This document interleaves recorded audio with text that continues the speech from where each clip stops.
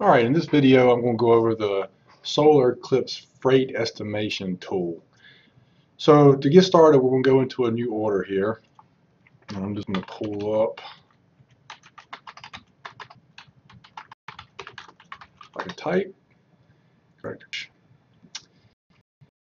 And I'm just going to add a product to the sales order quick. I'm going to put 5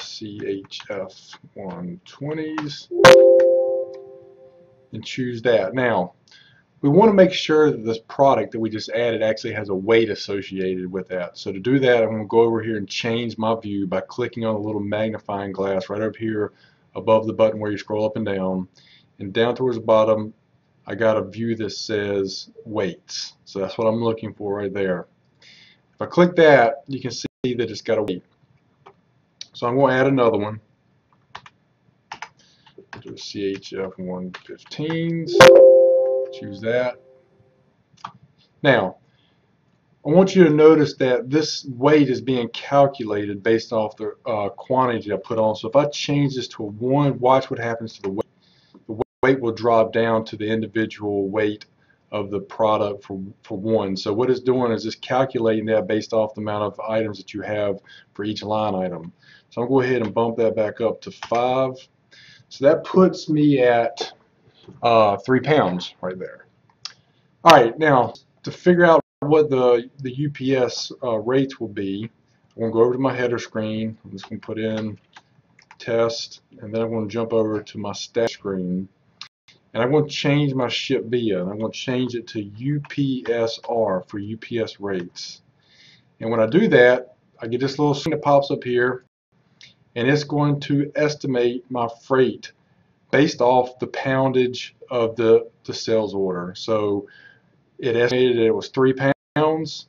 These are my rates. So I can select one of these rates right here and exit. So this is for UPS ground, UPS second day air, UPS next day air. And when I exit out and hit save changes, you will see that on my total screen it added that freight automatically to the order format. Now, what if we added a product that doesn't have a weight? So I'm going to go add 24 DUR some batteries here. So I just added some batteries and notice how there's no weight loaded.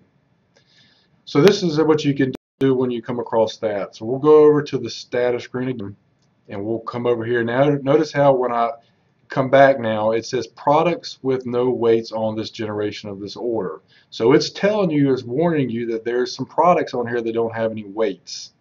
Now, we know that uh, two out of the three products on this ticket have weights. That should be fine. We can take that product that does not have a weight, go put it on our scale real quick. We determine that 24 AA batteries weighs two pounds. So I can just come over here and manually change the estimated weight to um, five pounds. And if you wanted to be on the safe side, you put six pounds, whatever you wanted to. And when I press enter, it'll recalculate those figures. So it was at three. It didn't change very much. It was 819, and I'm going to change it up to six, and now it's gone up to 879 for ground. I can click on that again to save those changes and then I can go back to my total screen and I can see that that has been updated in my freight. And that is how you utilize the new uh, freight estimation tool for UPS and solar. Thank you.